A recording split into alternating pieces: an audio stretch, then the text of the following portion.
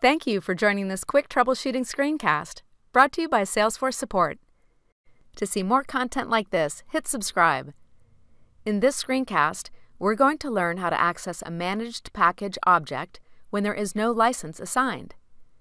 Please keep in mind that in order to follow these steps, you'll need system administrator permissions.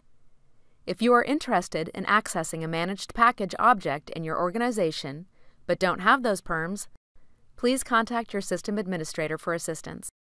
After a package is installed, system administrators have the option to assign a limited number of licenses for a managed package.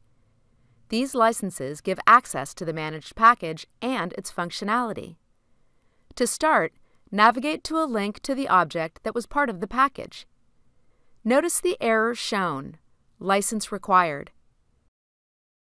To resolve this error, go to the managed package that is associated to this object. Click on the Managed Licenses link next to the desired package.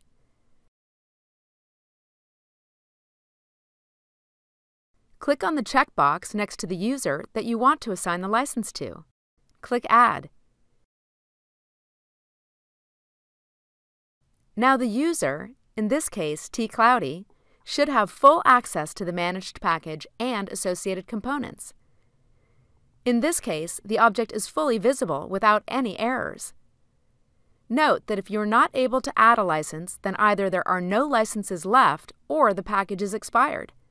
It's best to contact the publisher of the package if you have these issues. For more information, check out help.salesforce.com or join us on the trail at trailblazer.salesforce.com.